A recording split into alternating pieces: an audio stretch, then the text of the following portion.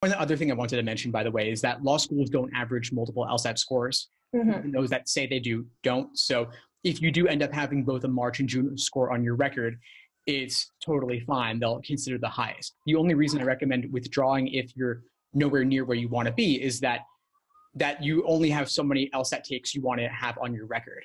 Mm-hmm. So let's say March didn't go well, June didn't go well either for some freak reason, then you're going to be taking maybe a July, maybe September, and it starts to rack up more and more takes on your record. So I'd say three or four is okay, but beyond that, it starts to look a little shaky. So I'd say if you're just taking it for the first time now in March, then that's totally fine.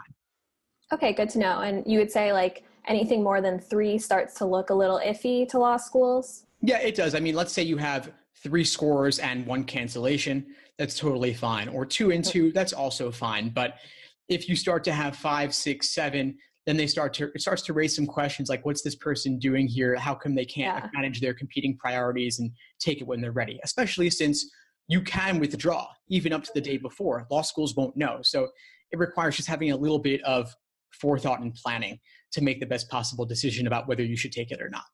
Yeah good to know. Thank you for explaining that so clearly. Yeah of course. My pleasure. And if you do just want to take a, a dry run mm-hmm. without having a score on your record or a take on your record, a couple of options. There are plenty of great Proctor apps and YouTube videos that simulate test day conditions with the timing, even with a little bit of noise as well, like distractions. So that's one thing to consider as an alternative. The other thing is that a lot of major prep companies like Kaplan Princeton Review, they offer free proctored exams, mainly for marketing purposes to promote their courses, but you can go in and take it for yourself and you can even bring your own exam if you want to if you're if you don't want to do the one that they're administering so mm-hmm. those are mm-hmm. some options and then plenty of other companies offer proctored ones for a fee as well